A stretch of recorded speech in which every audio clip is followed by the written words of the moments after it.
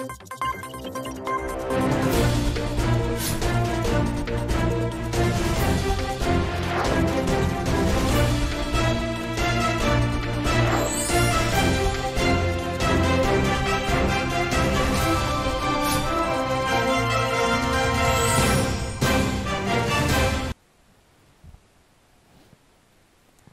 ជំរាបសួរដល់ស្រីទូទស្សនិកជនគណៈនេះនាងខ្ញុំសូមជម្រាបជូនព័ត៌មានជាតិដែលមានជាបន្តបន្ទាប់ដូចតទៅ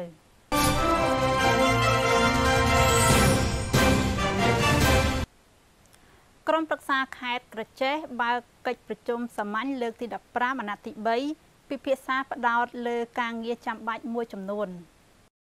ក្នុងកិច្ចប្រជុំសមាជលើកទី15អាណត្តិទី3របស់ក្រុមប្រឹក្សាខេត្តក្រចេះនៅព្រឹកថ្ងៃទី12ខែសីហាឆ្នាំ2020អាដាមហឺស៊ីយ៉ែមប្រធានអង្គប្រជុំបានមានប្រសាសន៍លើកឡើងថាបញ្ហាប្រឈមមុខនៅពេលនេះតាមប្រសាសន៍ប្រមុខរាជរដ្ឋាភិបាលគឺសមរភូមិរួមក្នុងការប្រយុទ្ធនឹងជំងឺ Covid-19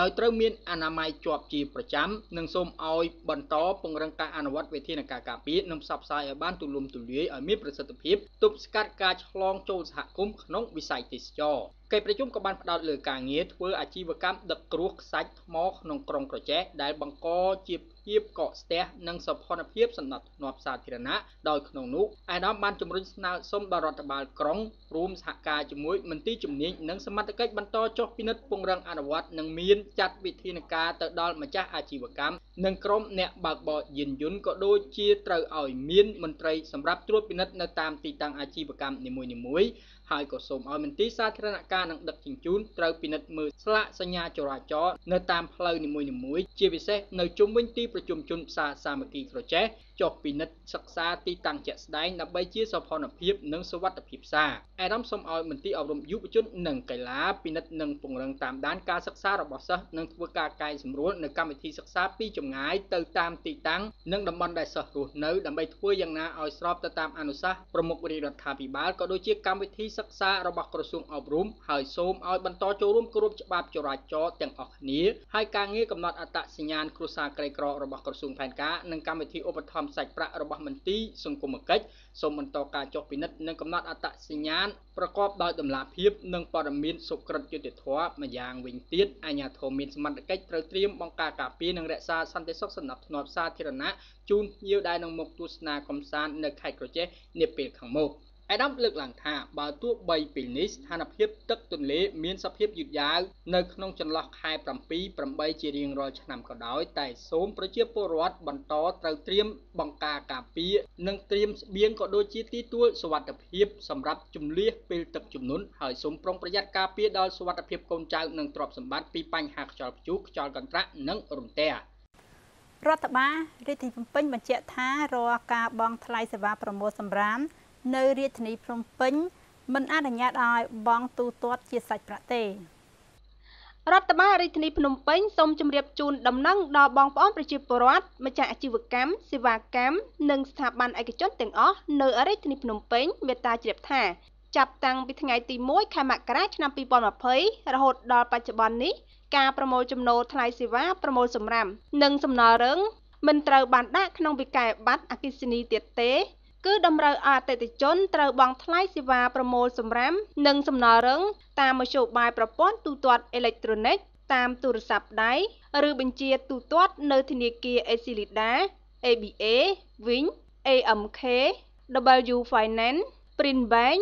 ស្ថាបនាឬតាមភ្នាក់ងារទូទាត់ផ្សេងផ្សេងទៀតដូចជា e-money, Lihua Velui, PayPay និង DaraPay ប៉ុន្តែនៅក្នុងពេលថ្មីៗនេះមានករណីជនខិលខូចមួយក្រុមតូចបានឆ្លៀតឱកាសក្លែងបន្លំខ្លួនជាមន្ត្រីរបស់អរដ្ឋកោស្វ័យយ័តគ្រប់គ្រងសម្រាមនិងសំណល់រឹងរាជធានីភ្នំពេញធ្វើការឆបោកអតិថិជនឲ្យធ្វើការបង់ថ្លៃសេវាប្រមូលសម្រាមនិងសំណល់រឹងដោយចាញ់ជាមូលបទានប័ណ្ណឬទូទាត់ជាសាច់ប្រាក់ដោយផ្ទាល់ជាមួយពួកគាត់ដូច្នេះរដ្ឋបាលរាជធានីភ្នំពេញសូមធ្វើការបញ្ជាក់យ៉ាងច្បាស់ថា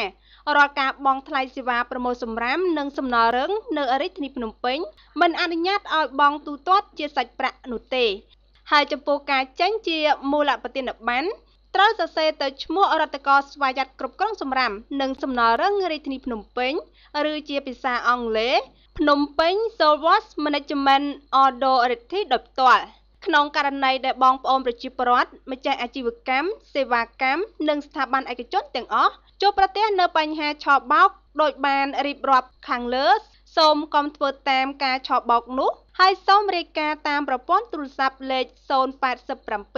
258 835ឬរាយការណ៍ជូនទៅអាជ្ញាធរមានសមត្ថកិច្ចដែលស្ថិតនៅក្នុងមូលដ្ឋានរបស់បងប្អូនប្រជាពលរដ្ឋផ្ទាល់ដើម្បីធ្វើការចាប់ខ្លួនក្រុមជនខិលខូចទាំងនោះមកផ្ដន់ទាទោសតាមច្បាប់ ឆ្លៀតក្នុងឱកាសនោះរដ្ឋបាលរាជធានីភ្នំពេញក៏សូមថ្លែងអំណរគុណចំពោះបងប្អូនប្រជាពលរដ្ឋម្ចាស់អាជីវកម្មសេវាកម្មនិងស្ថាប័នឯកជនទាំងអស់ដែលបានបំពេញកាតព្វកិច្ចក្នុងការបង់ថ្លៃសេវាប្រមូលសម្រាមនិងសំណល់រឹងបានយ៉ាងល្អប្រសើរ។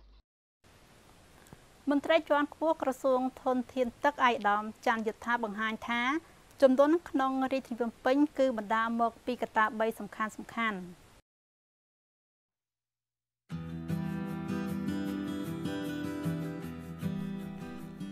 មន្ត្រីក្រសួងធនធានទឹកនិងអូតូនិយមបានពន្យល់សាធារណជននៅមូលហេតុដែលជាប់ទាក់ទងនឹងកត្តាដែលធ្វើឲ្យតំបន់ខ្លះក្នុងរាជធានីភ្នំពេញតែងតែរងនឹងការលិចក្នុងពេលមានភ្លៀងធ្លាក់ធំម្ដងម្ដងមន្ត្រីជំនាញបានថ្លែងថាស្ថានភាពដីក្នុងរាជធានីភ្នំពេញក៏កាត់ឡើងក្នុងតំបន់ភូមិសាស្ត្រទំនាបលិចទឹករាងជាបាតខ្ទះព័ទ្ធជុំវិញដោយការគម្រាមកំហែងទឹកជំនន់នៅរដូវវស្សា ពីបឹងកប់ស្រូវទន្លេសាបទន្លេបាសាក់និងស្ទឹងព្រែកថ្នោតព្រមទាំងទទួលទឹកជាប្រចាំពីភូមិសាស្ត្រខេត្តកំពង់ស្ពឺខេត្តកណ្ដាលហូរឆ្លងកាត់រាជធានីភ្នំពេញមុនហូរធ្លាក់ទៅទន្លេទឹកទន្លេបានចាប់ផ្ដើមឡើងក្នុងរង្វង់ខែកក្កដាដល់ខែវិច្ឆិកា ដែលធ្វើឲ្យទ្វារទឹកនៅតាមទំនប់ក្រវ៉ាត់ក្រុង ត្រូវបានបិទដើម្បីជៀសវាងទឹកហូរចូលក្នុងក្រុង ហើយអាជ្ញាធរបានប្រើស្ថានីយបូមទឹកចំនួន14កន្លែងសម្រាប់បូមបញ្ចេញទឹកនៅក្រៅក្រុង កម្ពុជាគឺជាប្រទេសមួយដែលស្ថិតក្នុងតំបន់អាស៊ីអាគ្នេយ៍ដែលជាតំបន់ទទួលនៅរបបទឹកភ្លៀងធ្លាក់ច្រើនជាងគេបំផុតនៅលើពិភពលោក ដែលមានកម្ពស់ជាមធ្យមពី1200មីលីម៉ែត្រទៅ2200មីលីម៉ែត្រក្នុងមួយឆ្នាំ ហើយរាជធានីភ្នំពេញនៃប្រទេសកម្ពុជា គឺជាតំបន់មួយ ដែលស្ថិតក្នុងតំបន់ដែលមានភ្លៀងធ្លាក់ច្រើនជាងគេលើពិភពលោកផងដែរ។រដ្ឋលេខាធិការក្រសួងធនធានទឹកលោកច័ន្ទយុទ្ធាក្នុងសន្និសីទកាសែតថ្ងៃទី11សីហាបានពន្យល់ជំវិញមូលហេតុអ្វីខ្លះដែលនាំឲ្យតំបន់ខ្លះក្នុងរាជធានីភ្នំពេញនៅតែជួបប្រទះនៅការលិចលង់ដោយសារតែចំនួនទឹកភ្លៀងបញ្ហាទី1 គឺតកតងជាមួយនឹងរបបទឹកភ្លៀង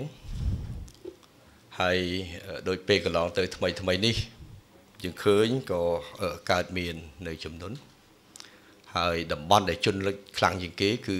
ម្ដុំផ្សារដើមគោនៅថ្ងៃនោះភ្លៀងធ្លាក់កំហុកទៅក្នុងរយៈពេល90នាទី គឺ1ម៉ោងកន្លះគឺ90មីលីម៉ែត្រដែលនេះគឺជាការធ្លាក់ភ្លៀងកំហុក ក្នុងស្ថានភាពបែបនេះគឺពិបាកនឹងរំដោះនៅពេលដែលហេដ្ឋារចនាសម្ព័ន្ធជាពិសេសគឺលូទឹករបស់រាជធានីភ្នំពេញដែលមិនទាន់បានរៀបចំរួចរាល់ខ្ញុំមិនឆ្លើយចំនួនរាជធានីភ្នំពេញទេតែអ្វីគាត់តែជាការទទួលបានព័ត៌មាន ពីការប្រកាសឬក៏សេចក្តីជូនព័ត៌មានរបស់សាលារាជធានីភ្នំពេញថាលូទឹករបស់យើងគឺមិនទាន់បានរៀបចំរួចរាល់ជាស្ថាពរ ហើយតកតងជាមួយស្ថានភាពអាកាសធាតុដូចខ្ញុំបានបញ្ជាក់ជូនអញ្ចឹងនៅក្នុងរយៈពេល1ម៉ោងកន្លះភ្លៀងធ្លាក់កំហុក90នាទីពិបាកនឹងដោះប៉ុន្តែបញ្ហាសំខាន់ថាតើការជន់លុចនេះវាត្រាំត្រែងឬក៏វាដោះទៅវិញលឿននេះគឺជាបញ្ហាដែលត្រូវតែដោះស្រាយហើយតកតោសំណួរទី4ថាតើក្រសួងមានអនុសាសន៍អីយ៉ាងម៉េចជាធម្មតាគឺ ក្រសួងនិងសាលារាជធានីភ្នំពេញតែងតែមានតំណែងតំណងគ្នាហើយខ្ញុំនៅចាំពេលដែលអាយដាមខុនស្រេងដែលលោកទទួលអឺ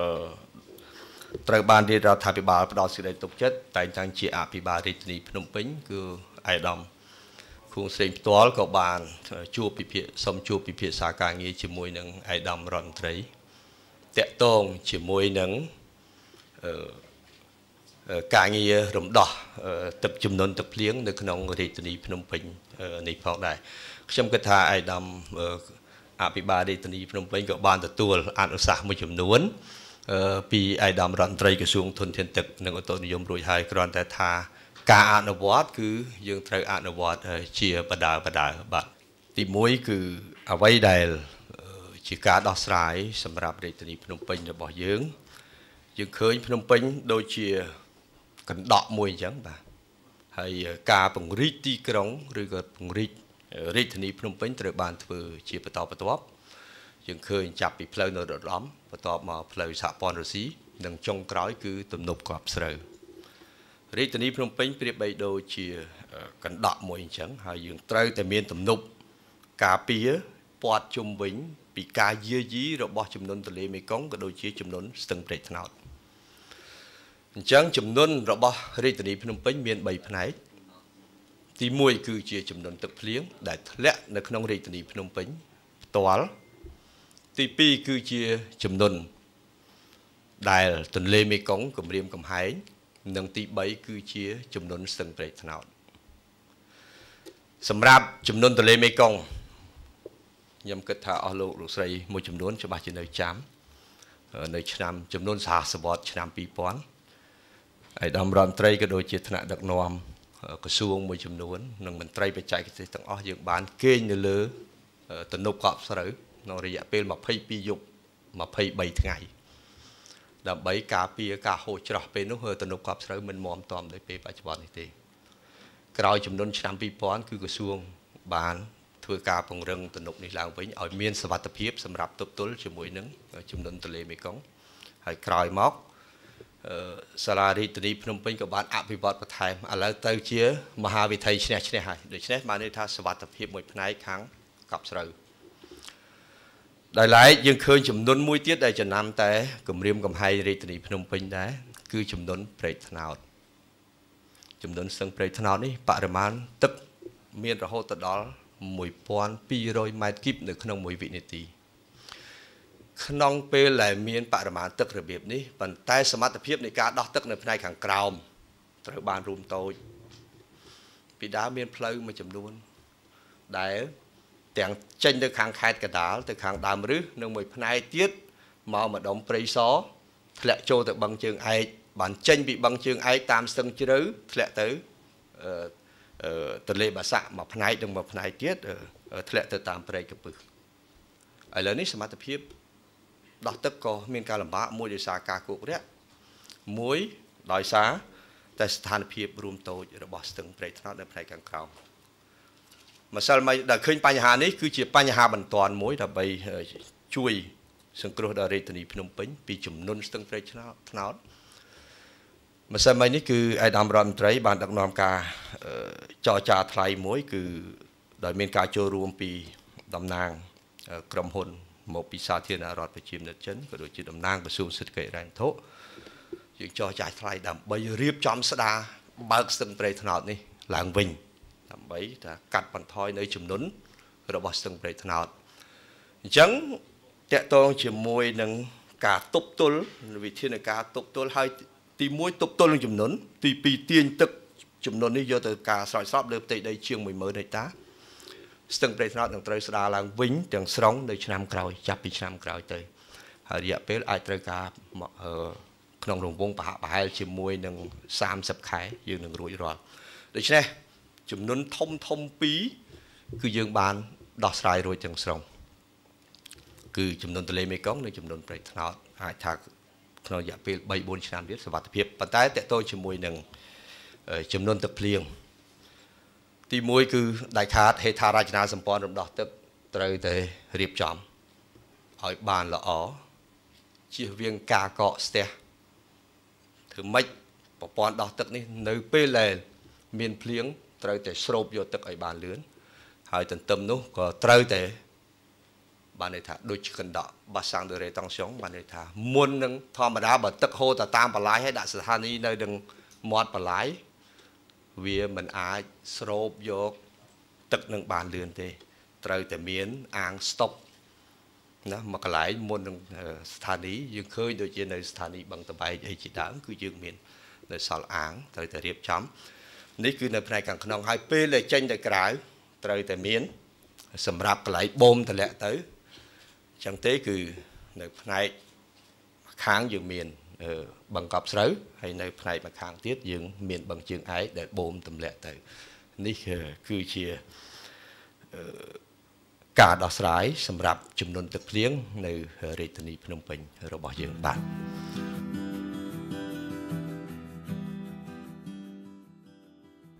ក្រមជំនាញផ្នែកឧតុនិយមបានថ្លែងថាចំនួនទឹកភ្លៀងមិនមែនមានតែត្រឹមរាជធានីភ្នំពេញនៃប្រទេសកម្ពុជាប៉ុណ្ណោះទេ ភាពប្រែប្រួលនៃអាកាសធាតុពិភពលោកបានធ្វើឲ្យទីក្រុងធំៗមួយចំនួនក្នុងតំបន់អាស៊ីក៏តែងតែជួបប្រទះករណីលិចលង់ខ្លាំងដោយសារចំនួនទឹកភ្លៀងនេះផងដែរដូចជានៅទីក្រុងសេអ៊ូលនៃប្រទេសកូរ៉េខាងត្បូងទីក្រុងបាងកកនៃប្រទេសថៃ ទីក្រុងហូជីមីញនៃប្រទេសវៀតណាម នៅក្នុងតំបន់នៃប្រទេសសិង្ហបុរី ឬក្រុងម៉ានីលរបស់ប្រទេសហ្វីលីពីននោះជាដើម